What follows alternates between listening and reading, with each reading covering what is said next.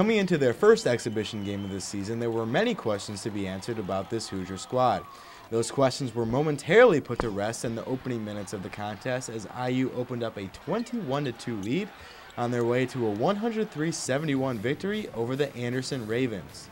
I feel like once we got going, everybody seen that we're capable of doing something special. So it was a it was a nice spark. I mean, I looked up, it was 14 to 2. I looked up, it was 21 to 2. I was like, wow. I was happy to the start they got off to.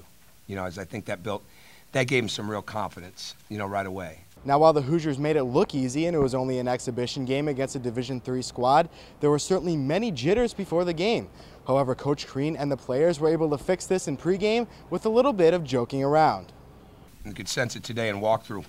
Everybody was nervous. I mean, it really was. It was like everyone was carrying around a 50-pound weight on their back. We cut it short and got them laughing and did a little mosh pit jumping, and we got it rolling. You know, we just kind of jump around and you know, I'll grab a guy or two, and they get behind me, and they're trying to mess up my hair, kick me in the back. We have some fun with it. I mean, being our first our first real game for most of us in college level, besides Devan, um, we had a lot of little jitters and uh, it's real nervous before the game. But um, I think after the first minute uh, of the game, we, we lost all those jitters.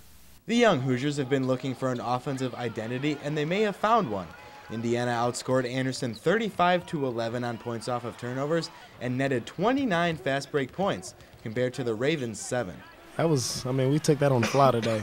The coach told us he wanted us to experiment that and really try to focus on it.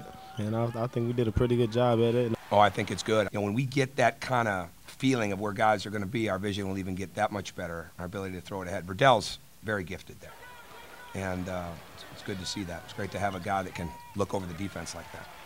Coach Crean and the players made it clear that they still have a long way to go to get to where they want to be, but considering the last nine months, their victory was certainly a good and refreshing start to the season. Reporting from Assembly Hall, I'm Casey Richards, Hoosier Sports Night.